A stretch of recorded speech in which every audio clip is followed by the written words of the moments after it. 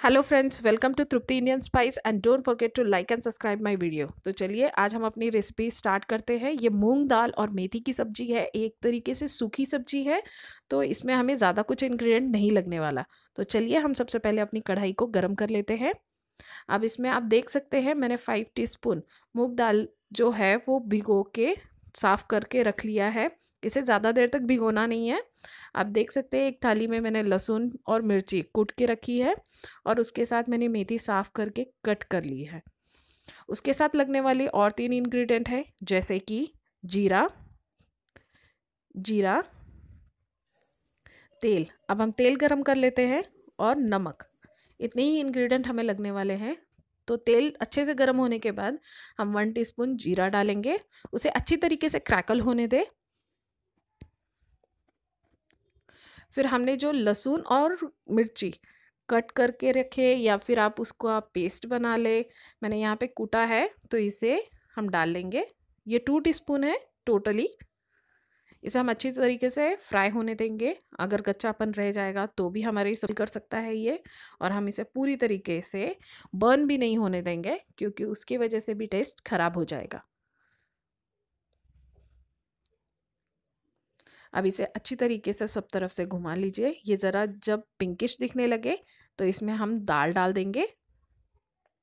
हमने जिसे धो के रखा हुआ है।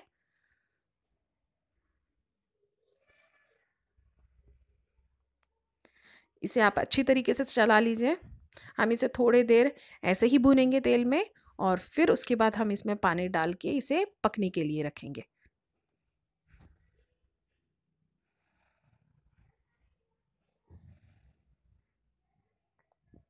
अब आप देख सकते हैं कि वन टू टू मिनट्स भूनने के बाद ये पूरी अच्छी तरीके से भून चुका है।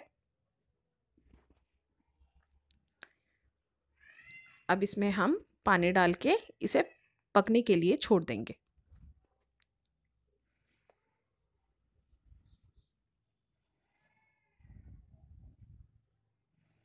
अब आप देख सकते हैं, मैंने एक कटोरी पानी लिया है।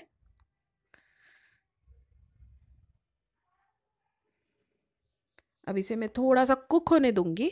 कुक होने के बाद जब हमारी दाल थोड़ी पक जाएगी तो मैं इसमें फिर मेथी ऐड करूँगी। अब इसे हमें ढक के पकाना होगा ताकि हमारी दाल जो है वो पक जाए।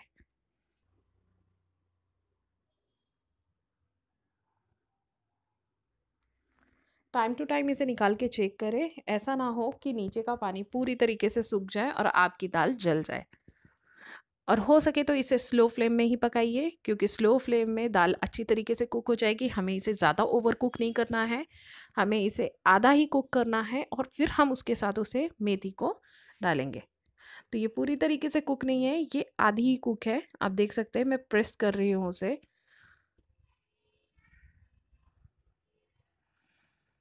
अब ये हो जाने के बाद अब हमें इसमें मेथी ऐड करनी है।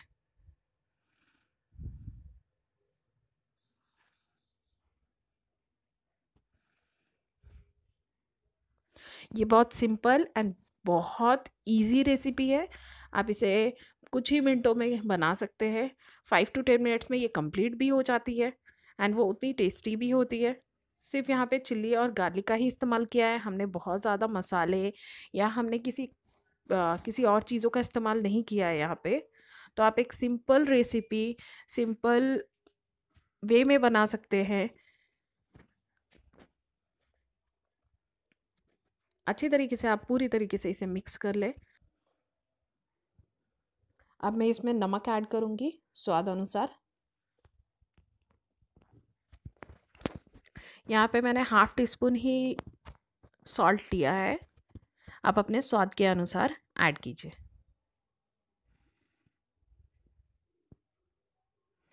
अब नमक डालने के बाद मेथी से पानी छूटता है, जिसकी वजह से आपको पानी डाल के कुक करने की ज़रूरत नहीं पड़ेगी। और हमारा दाल भी हाफ़ कुक है। जब तक हमारी मेथी कुक होगी, तब तक हमारी जो दाल है, वो भी फुल कुकड हो जाएगी। तो इस वजह से ही मैंने आपको कहा था कि आप उसे हाफ़ कुक ही करें। अब मैं इसे स्लो गैस में अच्छे से पकने दूँगी। कंटिन्यूसली हमें एक, दो मिनट के बाद इसे चेक करना है कि जब तक हमारा दाल और मेथी अच्छी तरीके से पक नहीं जाते।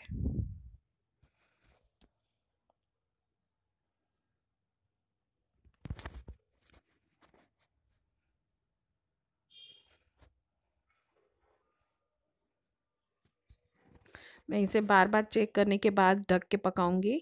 ताकि ये पूरी तरीके से पक जाए और पूरी तरीके से पानी जो है उसकी पूरी तरीके से सूख जाए, उससे उसका फ्लेवर और भी बढ़ जाएगा।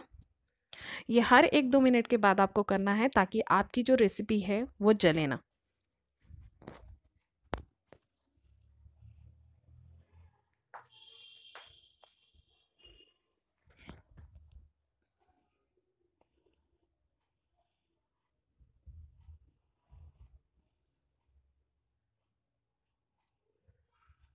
अब आप देख सकते हैं, इसका पानी धीरे धीरे पूरी तरीके से सूख रहा है।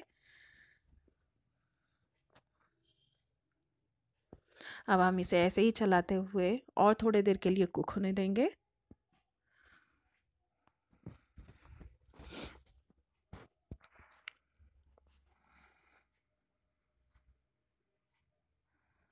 हैं कि इसका जो पानी है पूरी तरीके से सूख चुका है और ये पूरी तरीके से पक भी चुका है। हमारी जो मूंग दाल है, वो पूरी तरीके से सीख चुकी है।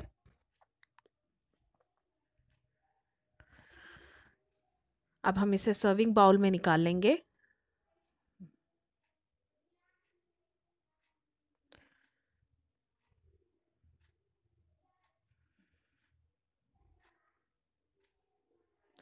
आप देख सकते हैं मेरा जो मूंग दाल है, वो भी ओवर कुक नहीं है एंड कितना अच्छा लग रहा है।